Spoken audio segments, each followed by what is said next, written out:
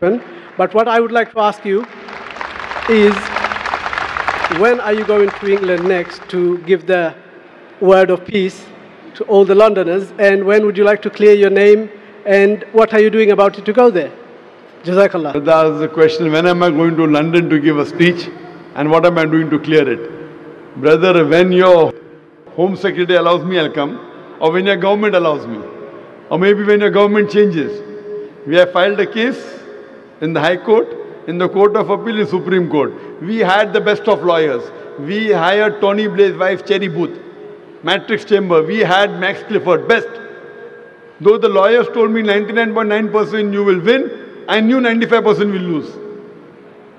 I know the judiciary system very well. So, we put our point across. Now, only way we have, we can go to the European court. Anyway, regarding me coming, I don't have to come physically. I'm coming by satellite every day to UK. That's right. We are there on BSkyB. On BSkyB, every day I'm giving a speech throughout the world. 100 million people are watching, mashallah. I don't have to come physically there. I'm only not allowed to come there. But my satellite, mashallah, Peace TV English is there, Peace TV Urdu is there. And mashallah, 100 million people are watching. So yet we are giving the message of peace and we pray to Allah subhanahu wa ta'ala that may He give hidayah to the people.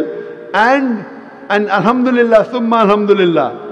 This is as our beloved Prophet said, that one day Islam will end.